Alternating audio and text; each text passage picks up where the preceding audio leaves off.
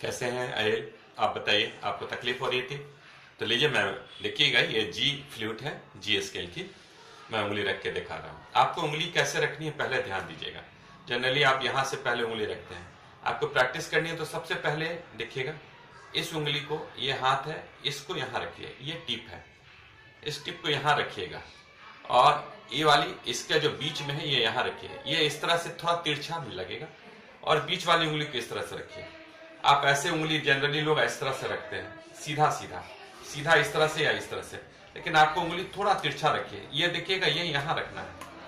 ये यहाँ रखना है और इस उंगली को यहाँ रखिए। तो ये अपने आप एडजस्ट करेगा।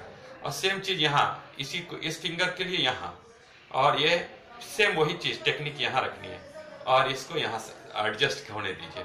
अब देखिएगा, आपको दिक्कत नहीं होगी।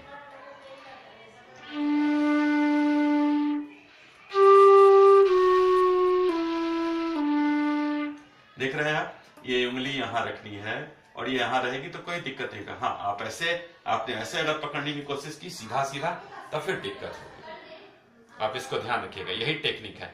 ये उंगली थोड़ी तिरछी हो जाती है। ध्यान देखिए, ये भी तिरछा हो गया, ये इस तरफ़ आ गया और ये हाथ इस तरफ़ आ गया। ऐसे आप रखेंगे तो फिर फैलाना पड़ेगा, एकदम सीधा होगा तो फिर दिक्कत हो जाएगी।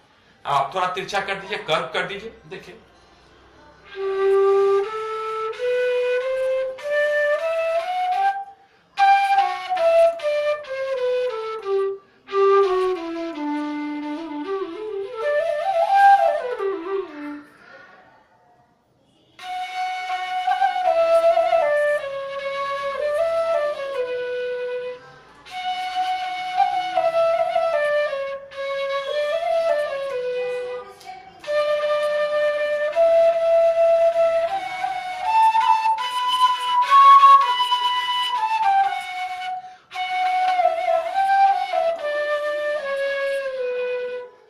आपके लिए किस बजाया अच्छा है लगेगा आपको।